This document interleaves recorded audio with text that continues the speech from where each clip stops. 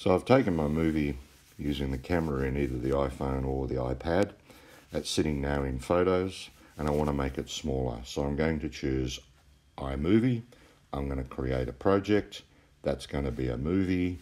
And this is the most recent one you can see at the top. So I'm going to select that. And down the bottom, click Create Movie. That movie is now being created. You can trim it if you wish to or whatever. But for all intents and purposes, it's done. So I'm going to click Done in the top left-hand corner. And now I'm going to click the little button between play down the bottom on the left hand side and the trash can on the right, just below edit.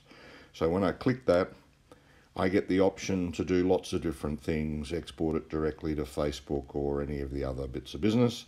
But in this instance, I'm going to click save video and that is where I get the option to save that as a small medium or in this instance HD because I've set my camera to record at 720 instead of 1080 which makes it a bit easier and that is it.